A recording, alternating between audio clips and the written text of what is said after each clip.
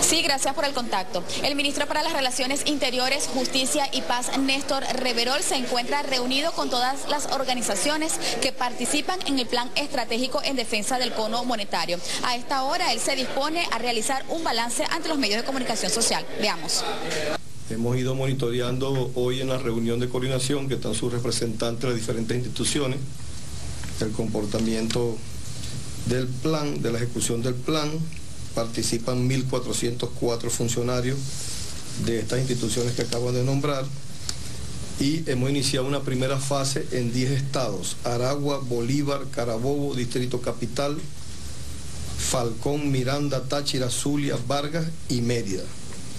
Se han inspeccionado 2.166 establecimientos por parte del equipo multidisciplinario que está visitando los establecimientos en esos 10 estados se han sancionado 473 establecimientos.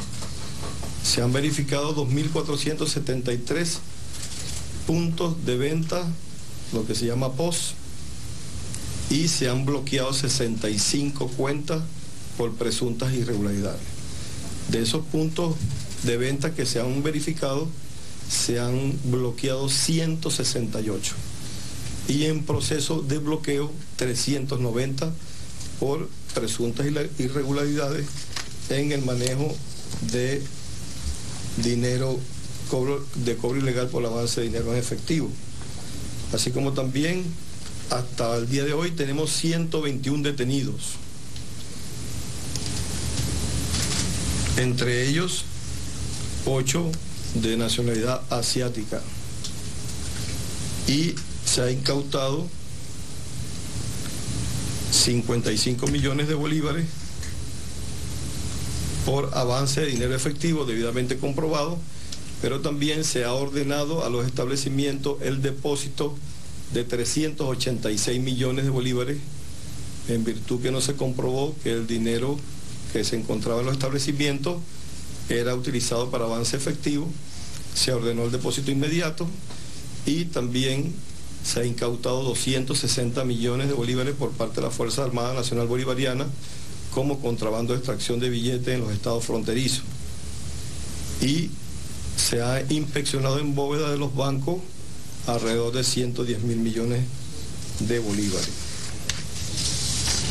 La próxima semana iniciamos la segunda fase de este plan estratégico en ocho estados más del país y vamos a ejecutar un conjunto de acciones que ya las mencioné, pero también es importante destacar y es de la experiencia que hemos tenido en las diferentes actuaciones que han hecho los organismos adscritos o que tienen la función en este plan estratégico de todas las novedades ocurridas. Además de eso, algunas acciones que está implementando la Superintendencia de Banco conjuntamente con la Asociación Bancaria, se ha ordenado aumentar los límites mínimos y máximos de las transferencias electrónicas para personas naturales y jurídicas. Eso también ayuda a el manejo del dinero electrónico. Ha aumentado los límites en los puntos de ventas, también en todo el territorio nacional. Y el incentivo al uso del dinero electrónico que ha dado el Ejecutivo Nacional en la rebaja de 3% del IVA en transacciones hasta 2 millones de bolívares y más de 2 millones el 5% en la rebaja del IVA, de tal manera de estimular el pago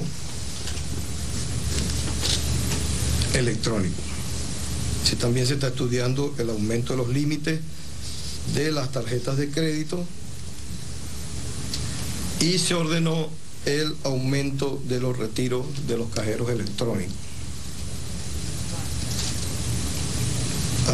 Además también se ha ordenado una investigación ya que se ha detectado que algunos, algunas entidades financieras, algunos empleados de los bancos están ejerciendo cobro indebido por otorgamientos de puntos de venta. Y estamos iniciando una investigación para detectar cualquier irregularidad.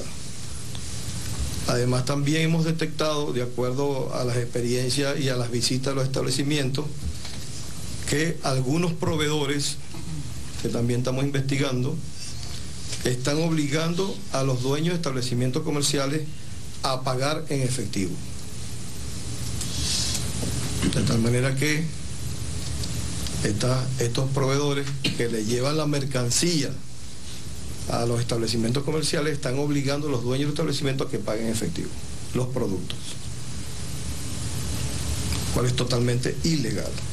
Y también vamos a comenzar una inspección a los estacionamientos en todo el país, ya que los estacionamientos hacen el cobro en efectivo, pero no se ha demostrado el depósito en los bancos. De tal manera de seguir controlando la circulación del billete y establecer las acciones que sean necesarias para que el billete el dinero efectivo, el cono monetario, llegue al pueblo.